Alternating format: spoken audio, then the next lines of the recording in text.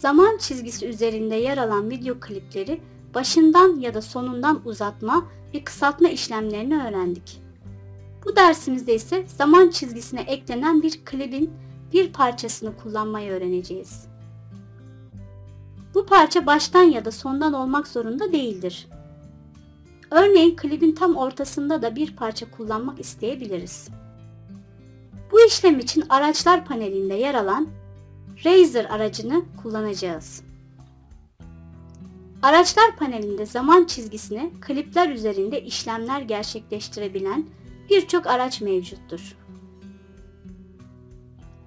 Bu araçlara seçerek ulaşabildiğimiz gibi klavye kısa yolları ile de ulaşabiliriz. Örneğin hangi araçta olursak olalım, V tuşuna bastığımızda seçim aracına geçiş sayılır. Razer aracına geçiş için C tuşunu kullanabiliriz. Bu kısa yollar için araçlar üzerinde bir süre beklememiz yeterlidir. Bilgilendirme balonu ile kısa yol tuşlarını gösterecektir. Razer aracını seçelim ve zaman çizgisine eklenmiş video kliplerin üzerine gelelim.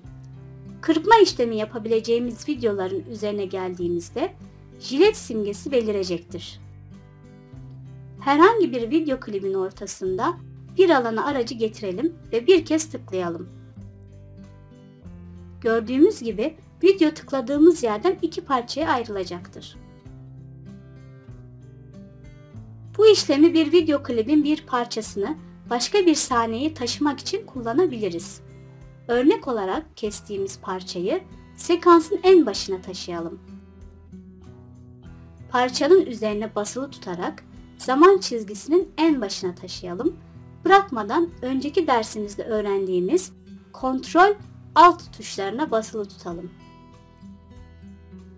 Böylece klibi en başa taşırken zaman çizgisindeki yerleşimler de bozulmayacaktır.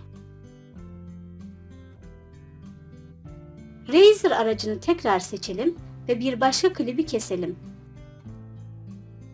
V tuşu ile seçim aracına geçelim. Kestiğimiz parçayı seçelim ve delete tuşu ile kestiğimiz parçayı silelim. Gördüğümüz gibi klibin belirlediğimiz bölümünü hızlı bir şekilde silebiliriz.